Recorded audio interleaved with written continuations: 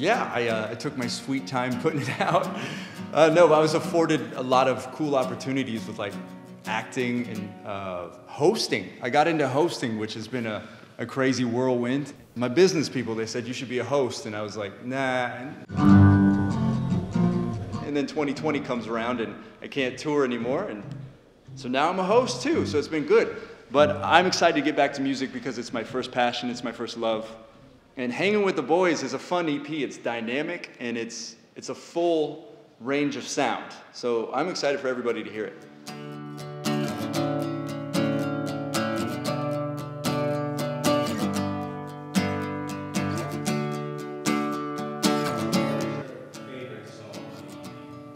Fate?